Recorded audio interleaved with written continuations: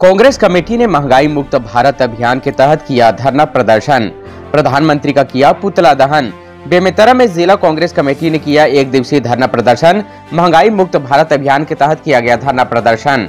बेमेतरा में अखिल भारतीय कांग्रेस कमेटी के आह्वान पर महँगाई मुक्त भारत अभियान के तहत जिला कांग्रेस कमेटी ने एक दिवसीय धरना प्रदर्शन किया। ज़िले के सिग्नल चौक, पुराना बस स्टैंड में धरना प्रदर्शन किया गया।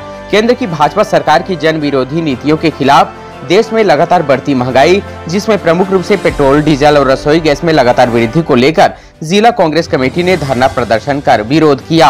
साथ ही बढ़ती महँगाई के विरोध में प्रधानमंत्री नरेंद्र मोदी का पुतला दहन कर विरोध प्रदर्शन किया गया। वहीं इस दौरान स्थानीय विधायक आशीष छाबड़ा सहित ज़िले भर से कांग्रेसी कार्यकर्ता उपस्थित हुए। क्या विरोध इसी तरह में जिला कांग्रेस कमेटी के द्वारा पूर्व सूचना देकर 11 बजे से लेकर एक बजे तक आज दिनांक दो चार दो हज़ार बाईस को महँगाई के विरुद्ध धरना प्रदर्शन किया गया है, जिसका कि पुलिस प्रशासन तथा जिला प्रशासन के सहयोग से कार्यपालिक मजिस्ट्रेट की उपस्थिति में शांतिपूर्ण इस धरने का समापन किया जाएगा देश में बढ़ती महँगाई के विरोध में प्रदेश कांग्रेस कमेटी के प्रदेश में जिला कांग्रेस कमेटी के नेतृत्व में दिवसीय धरना प्रदर्शन का कार्यक्रम रखा गया है।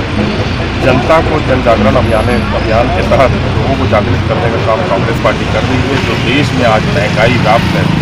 हर व्यक्ति, हर वर्ग के लोग इससे परेशान है। भारतीय जनता पार्टी सरकार की तरफ़ नीतियों के तहत लोगों के, गरीब लोगों के जेब में सीधा डाका डालने का काम भारतीय जनता पार्टी की सरकार कर रही है। उसके विरोध में आज धरना प्रदर्शन और प्रधानमंत्री का पुतला दहन का कार्यक्रम रखा से ईश्वर राजपूत, छत्तीसगढ़ विजन टीवी।